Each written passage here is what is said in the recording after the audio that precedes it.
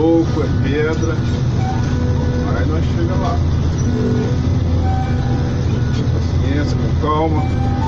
Para não forçar e muito menos quebrar o equipamento, né?